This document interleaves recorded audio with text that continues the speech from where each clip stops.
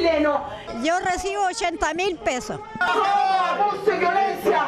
Roba, abuso y violencia. 140 mil pesos.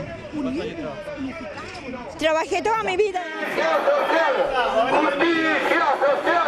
Yo 80 y tanto, 80 mil pesos.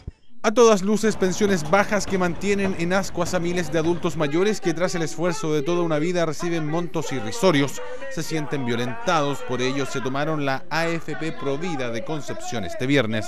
Estamos pasando por la miseria más grande de nuestra historia después de haber trabajado toda la vida.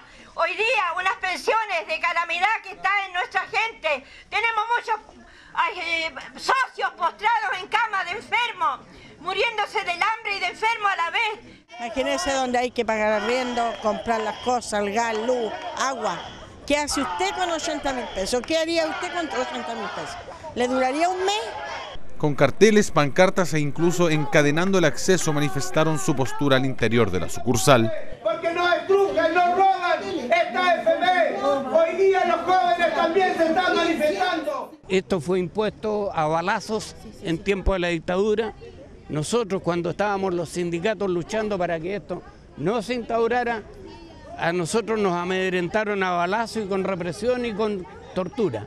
Este modelo privado está fracasado, está fracasado toda vez que la prognosis dice que el 60% de los trabajadores y trabajadoras de Chile se pensionarán con menos de 150 mil pesos mensuales. Es una máquina que produce pobres.